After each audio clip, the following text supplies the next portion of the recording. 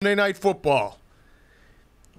The Bears suck, man. They really suck. And I don't want to just sit here and just be like, man, they suck. And I hate Matt Nagy because I think people are probably just sick of hearing that. But I really don't have much more to say besides the Bears aren't good. And Matt Nagy, I fucking hate you. Well, I can give you a spin zone. The Rams look like they could win the Super Bowl based off of tonight. Well, Rams look pretty good. Okay, they do. Matt Stafford.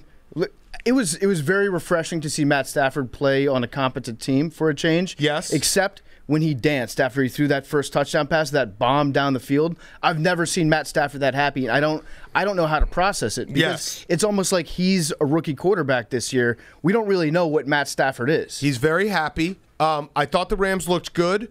I also thought the Bears' defense is everything that I was worried about because I, I've talked at length about the whole Matt Nagy, Justin Fields, Andy Dalton thing. It is what it is. I'm just going to sit here and watch him tickle us all and play just the tip with Justin Fields coming in every now and then to do like a shovel pass or he had a touchdown run, which was electric.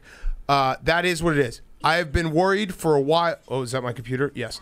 I have been worried for a while that the defense was going to age and it was going to start looking bad. I don't know what happened to the secondary. I don't know what happened to Eddie Jackson, but there were plays in that game that looked like the Bears were a college football team where you're like, "Wait, is there a safety on the field?" I don't I can't tell if there is. So, all my worst nightmares in that respect have come true.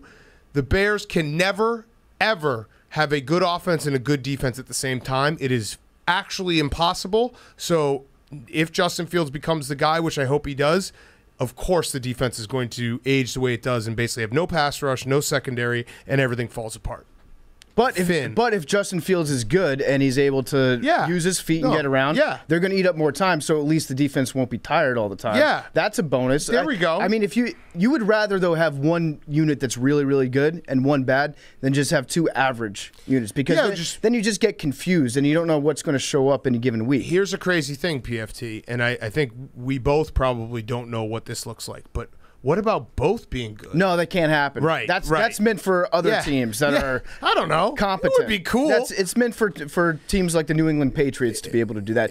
Big Cat, we are resigned to be rooting in perpetuity for the most frustrating NFL teams. None of that's going to change. Um, I I did enjoy elements of Justin Fields in that offense, especially in that first drive when they put him in. I thought Matt Nagy was a genius for a second. For a second, I thought he was a genius, and he was saying, you know, like Andy Dalton is going to start Week One no matter what, and then he'd turn the reins over Justin Fields halfway No. through the very first No. drive. No. Turns out Matt Nagy is just as dumb as we thought he was, if not more, because I actually think the dumbest thing that Matt Nagy did tonight was in the fourth quarter when they were down by what were they down like seven 14, 13, 20, I but, don't know. but they could have kicked a field goal. They're down 13. They could have Yeah. kicked a field goal to make it a 10 point game at that at that time. Instead, they went for it on fourth and 15. Got a lot of plays in the playbook for fourth and 15, and then ran a route that took the receiver to like 13 yards. Correct. And then didn't bring Justin Fields in for the last drive when the game is already at hand and might as well get Mm-hmm. him some in game reps. It was galaxy brain shit because he said, I'm starting Andy Dalton. I'm going to piss everyone off. I'm starting Andy Dalton. We promises him the job in March. I don't care what anyone says. Oh, I'm going to put Justin Fields in, but I'm also not going to let him get a rhythm. I'm also not going to really let him throw. He did throw once. He, Mm-hmm. he completed his first pass. I guess technically twice because there was the shovel pass as well. Yep. Which was a throw. Uh, I'm not going to let him throw. I'm gonna I'm gonna let him use his feet once with the touchdown, but I also am not gonna use him in spots like fourth and four when Andy Dalton can't get a first down with his feet, and it, and Justin Fields would be the perfect guy to be in there. I'm gonna use Andy Dalton. It again, he is the the moment has always been too big for Matt Nagy. I really do think the double doink murdered his brain. The fact that he spent the next, you know, entire training camp practicing from the exact spot that the double doink happened from, that was the sign of a guy who like he he just he he needs uh it's like Bill Murray and fucking what about Bob? He he's the crazy one. He's the you you're the crazy guy, dude. Like you you can't figure this out. So whatever. Andy Dalton's a nice guy. Matt Nagy, it's fine. The Bears, there was a moment in the game where I was like, they're not as bad as I thought they were, and then they ended up losing by 20 points, and they are just as bad as I thought they were. And again, the defense is going to be bad. I have something more important to talk about, though. What what does Chris Collinsworth and Matt Nagy. What's going on there? So I think it's just because Andy Dalton used to play for the Bengals. Is I, th- that it? I think that Chris has like a thing for a former Bengal that got away, and he's openly rooting for Andy Dalton because he saw Andy Dalton bring competent quarterback play to the Bengals, which is a rare thing in Cincinnati. So I think Collinsworth is now going out on a full limb. Co- Collinsworth's prep was so what's the word fastidious? Is that the SAT word on uh, on Andy Dalton? And he was so prepared to talk about Andy that he didn't even know what Matt Stafford's wife looked like. It- Did you see that Yeah, part? yeah, yes, Where they, yes. Chris was like, all blondes look the same from behind to me. I don't know. I can't tell them yes. apart. It was where you say, Hank? It was crazy. Well, no, I was gonna say you during the game you were like upset at Chris Collinsworth and you were like, find out what he did. Yeah, no, I, I made memes go find out. I was like, find out how Chris Collinsworth and Matt Nagy know each other. But the only listen, thing that made sense is the Cincinnati thing. Cincinnati, also Matt Nagy went on Chris Collinsworth's podcast, and I like Chris Collinsworth, but it was crazy how much he was supporting Matt Nagy's decision and being like, Justin Fields doesn't know how to read a defense. Dude, he played at Ohio State. He played major, major college football. He's like not stupid. He knows, of course, there's rookie shit that he probably will make mistakes. Zach Wilson made some mistakes today. I'd rather if I were a Jets fan, I'm happy that Zach Wilson was out there making those mistakes because he'll learn.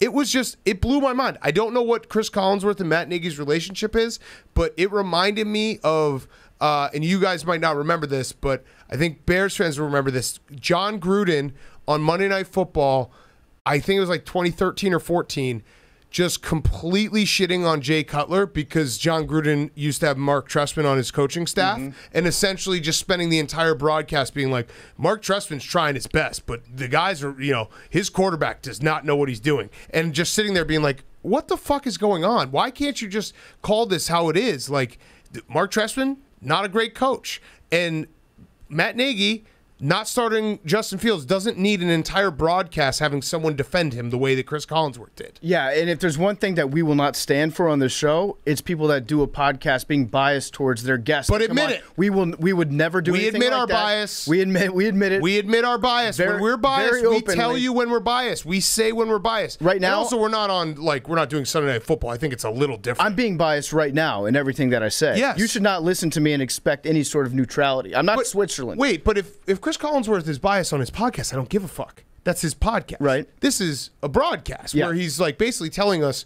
we're Justin Fields isn't able to start in this game, and anyone who thinks otherwise is an idiot. Yeah, the only thing that he was nutting over harder than Andy Dalton was that circle video board that they had there. Yes. Just amazed by a circular television. And also the quote that he used for Sean McVay, which I'm not going to put on Collinsworth, I'm going to put on McVay, where McVay said, uh, "We love Jared Goff.